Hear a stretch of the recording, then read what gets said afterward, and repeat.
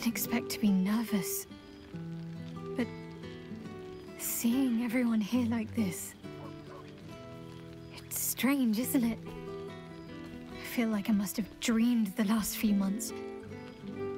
Now I'm waking up back in camp with my hair smelling like wood smoke and fallen leaves stuck to my backside.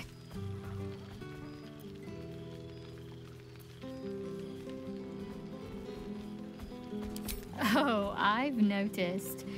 Ever since I first slipped into my camp garments, I should think.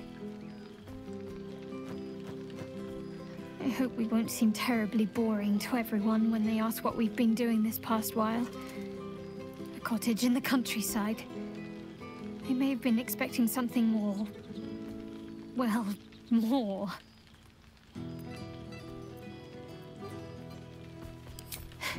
True. They might even be jealous of the bucolic life. Perhaps every adventurer secretly pines for a little flower-strewn cottage overrun with animals. Oh gods no, that sounds awful.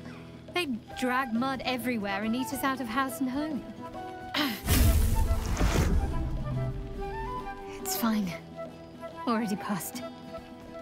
Shar must have sensed I was enjoying myself.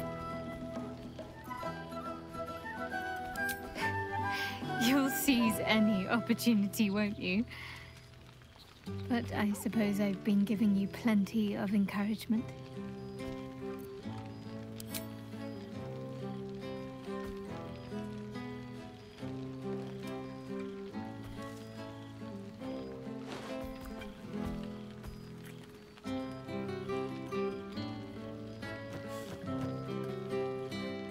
Why, I feel better already.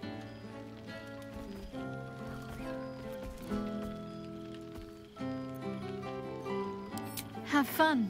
Just don't wear yourself out too quickly. I'm anticipating a long night ahead of us.